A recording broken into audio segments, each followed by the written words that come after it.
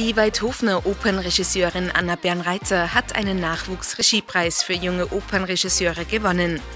Die 35-Jährige bekam den mit 7500 Euro dotierten Friedrich-Götz-Preis für eine Inszenierung an der Neuen Oper Wien. Im kommenden Jahr ist das Regietalent in Deutschland und Frankreich für Operninszenierungen gebucht. Einige kurze Videoclips haben ihn zum Star gemacht. Den Typ des Bauern Louis mit seinem derben Humor. Mit seinem Programm Best of Louis aus Südtirol gastiert der Kabarettist in der Johann Pölz-Halle am Freitag, dem 4. März um 19.30 Uhr.